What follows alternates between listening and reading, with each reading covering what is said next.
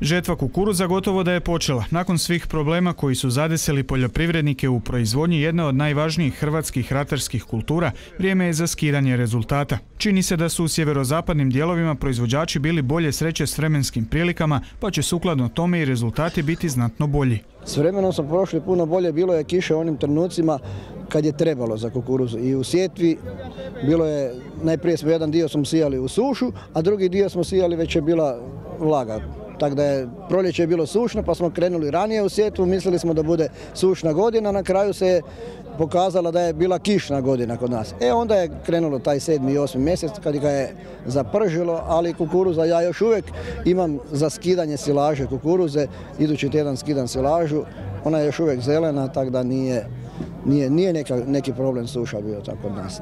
Međutim, u slavonskim županijama suša se već značajnije odrazila na usjeve kukuruza, pa ovi proizvođači u žetvu ulaze s nešto manjim očekivanjima. Malo oborina, odrazilo je se to na nekakav prinos, ali ne u drastičnom smislu, tako da će to biti puno bolje nego što je se nam desilo prije dvije, tri godine kad smo imali jako, jako male ovaj prinose. Ove godine smo, iako nismo skinuli pokuse, ali nekakve vizualni ovi podaci bit će nekako prosječna, prosječna godina. Sve zavisi od, od zemljišta, od boniteta zemljišta na, što mi kažemo, seljački boljim njivama bit će nešto više, na lošijima gdje su pjeskovita bit će nešto manje, ali nekakav prosjek mislim da bi trebao biti oko 7 tona.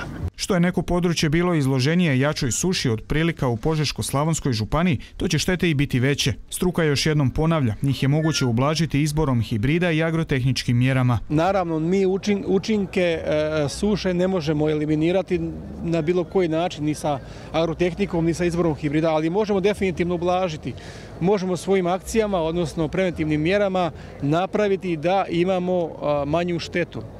Prije svega obradom tla, vremenom sjetve, izborom hibrida, znači ovisno od područja, mislim da ne bi bilo loše imati u svom planu sjetve i grupe 300, znači ranije grupe 300, grupe 300, grupe 400, znači za poljoprivredne proizvođače koji siju inače grupe 600 ili 500, da ipak razmisle da u svoj plan sjetve uvrste i ranije grupe dozrijevanja. Najčešće zbog loših ekonomskih prilika mnogi ratari i ove godine nisu išli u značajnija ulaganja u proizvodnju kukuruza, jer na kraju najčešće ostaje i problem niske otkupne cijene. Mislim da smo tu uvijek na neki način razošarani, mi hoćemo više nekakve početne cijene, one bude takve kakve bude, mi u biti ne možemo utjecati na, ovaj, na formiranje cijena i to je ne možda prilično, prilično velik rizik. Kad bi na početku nekakve proizvodne godine imali imali e, osnovnu cijenu pa bi se mi onda lakše ukalkulirali u to sve skupa.